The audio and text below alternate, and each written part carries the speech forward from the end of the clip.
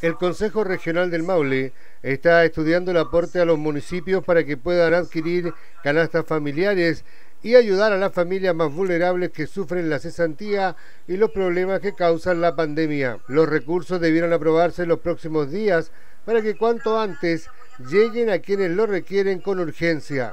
El consejero regional George Bordachar indicó que apoyará este aporte que es muy necesario para muchas familias de la región. En lo personal eh, estoy de acuerdo con que entreguemos esta ayuda a las municipalidades para que ellos puedan entregar estas cajas de alimentos que son tan necesarias estos minutos. Eh, hay mucha gente que está quedando desempleada.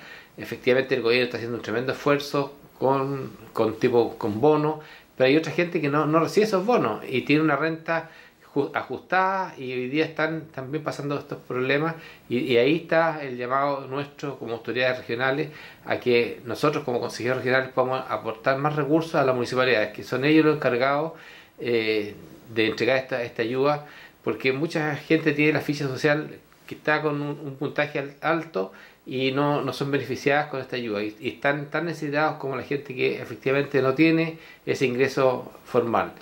El gobierno, como te digo, está haciendo esfuerzo. Nosotros como gobierno regional vamos a seguir trabajando fuertemente, apoyando a las municipalidades para que ellos tengan también este tipo de ayuda que son tan necesarias.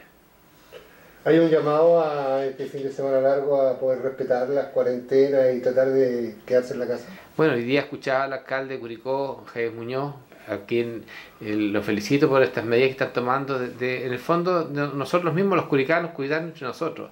Si, si hay familiares que van a venir acá a la provincia y a la, ciudad de Curicó, que no vengan este fin de semana largo.